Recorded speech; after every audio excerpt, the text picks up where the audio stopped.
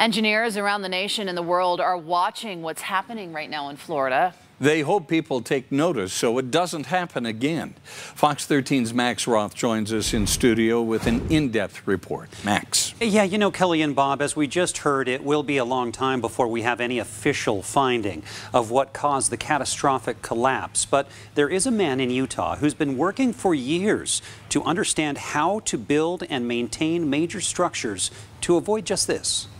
University of Utah civil and engineering professor Chris Pantelides has found three ways concrete and steel columns fail. The first is corrosion. High rise construction columns have rebar inside, giving vertical strength and flexibility. On the outside, reinforcing spirals, most often steel as well.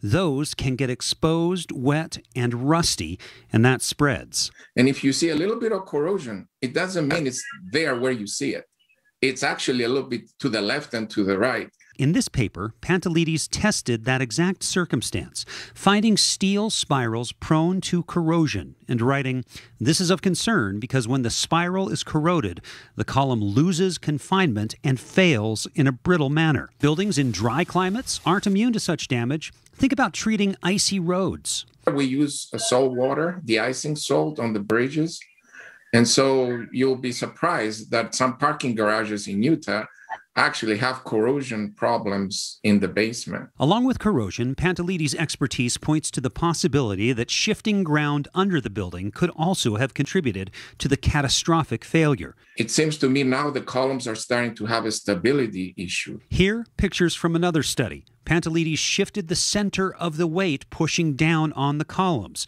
so the pressure was unequal. So if, if, if the load moves a little bit to the right, or to the left of the center of the column, then the capacity of the column starts to reduce almost proportionately.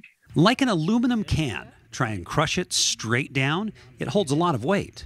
Put pressure to the side.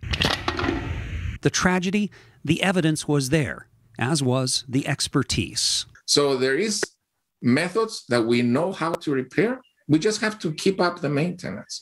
That's all.